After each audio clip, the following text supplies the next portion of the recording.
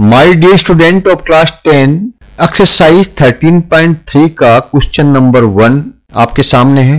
देखिए, इस एक्सरसाइज के अंदर conversion of solid from one shape to another यानी एक ठोस का एक आकार से दूसरे आकार में रूपांतरण करने से क्या परिणाम आते हैं, उसके क्या फॉर्मूला है, इसके संबंध में क्वेश्चंस हैं।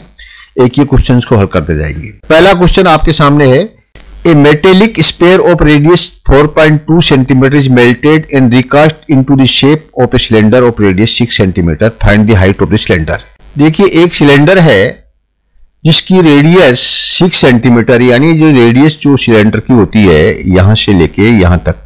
ठीक है? किसी भी साइड में दे दीजिए आप। ये six centimetre R equal to six centimetre है। और एक स्पेयर जो है यानी गोला है, उसकी रेडियस 4.2 सेंटीमीटर है। आपको हाइट ज्ञात करना है, ऊंचाई। देखिए, यहाँ पर इसका आंसर दिया हुआ है, लिखित में दिया हुआ है, आप इसको देख लीजिए और समझ लीजिए कैसे निकालना है। पहले जो है, आपको स्पेयर का वॉल्यूम निकालना है 4.2 वाले का, जिसकी व्यास है, और इसके बराबर जो है, ये सिलेंडर का वॉल्यूम है। ठीक है?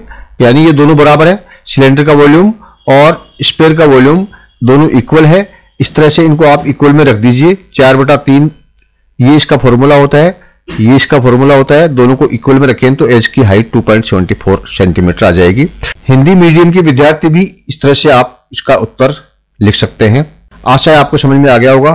फिर भी अगर आपको समझ में नहीं आया है तो हम आपको डिटेल के अंदर सॉल्यूशन बताते हैं। आप देखते जाइए। आइए।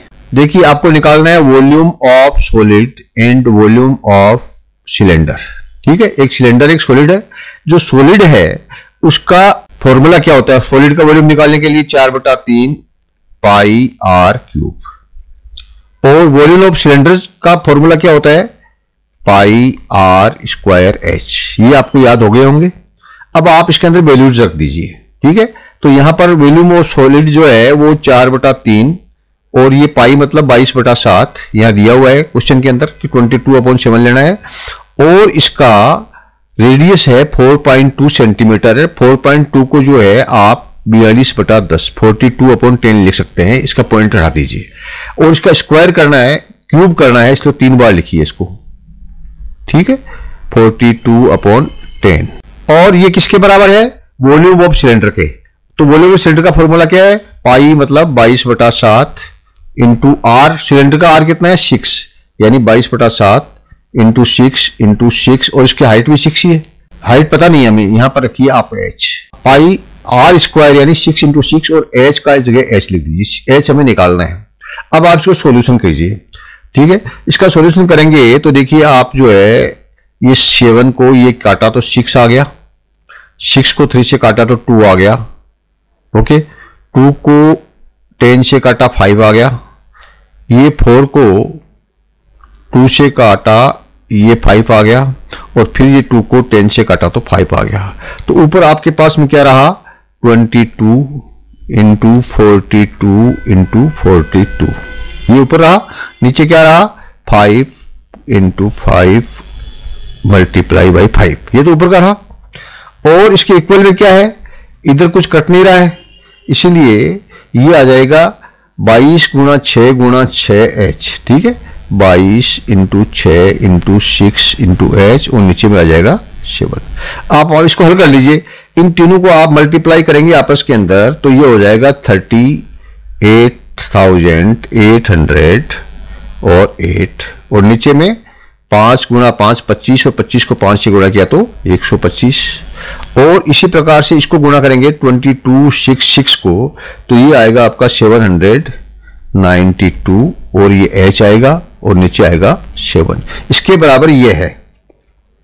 ओके इसको और हल करेंगे तो इसके अंदर जो है 125 का भाग दे देंगे तो राउंडेड फिगर तक ले आइए आप इसको, ये आएगा 310 और इसके बराबर जो है, आप जो है, सात सौ बानवे में सात का भाग देंगे तो ये आएगा आपका 113 113 और एच यानी 113 एच के बराबर 310 है तो एच के बराबर कितना हुआ? 310 divide by one one three ठीक है? तीन सौ दस में वन वन थ्री का भाग दिया तो आएगा आपका टू पॉइंट सेवेंटी फोर ये क्या आएगा? सेंटीमीटर यह है इसकी हाइट ऑफ़ द सिलेंडर जो पूछा है प्रश्न के अंदर। ठीक है? प्रश्न पूछा find the height of the cylinder ठीक है? तो इसका जो है वेदन का ऊंचाई दो पॉइंट छोतर सेंटीमीटर ये आपका आंसर आ गया। क्लियर फिर भी अगर आपको समझ नहीं आया तो एक बार फिर हम आपको इसका सॉल्यूशन परीक्षा में कैसे लिखना है, वो दे रहे हैं, इसको पढ़ लीजिए। हिंदी मीडियम के विद्यार्थी भी इसको पढ़ सकते हैं और समझ सकते हैं। Thank you my dear student please like and subscribe.